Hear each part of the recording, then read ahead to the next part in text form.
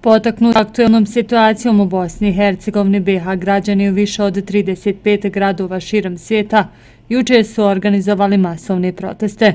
Najmasovniji su se desili u Briselu gdje su se BH građani okupili ispred sjedišta Evropske unije, a neki od protesta su održani ranije kao što su bili protesti u Ženevi i Parizu. Skupo podrške održani i danas u Kalesiji. Mi smo danas u Kalesiji po ko zna ko zna koji put pokazali dostojanstvo bošnjaka muslimana, našu ljubav prema domovini, našu ljubav prema svim drugim ljudima u Bosni i Hercegovini, bez obzira na naciju, vjeru, njihovo opredeljenje političko i ostalo i tako dalje.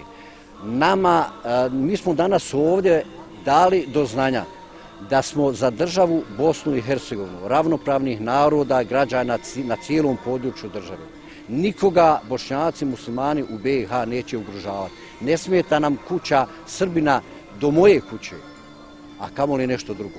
Ni crkvena zvona, ni bilo šta drugo. Mi dajemo podršku danas državnosti Bosne i Hercegovine i nećemo, ako, im, ako bude bilo potrebe, nećemo na tome stati. Znači, dajemo do znanja svima da država Bosna i Hercegovina je za Bošnjake jedina domovina. Rezervne nema.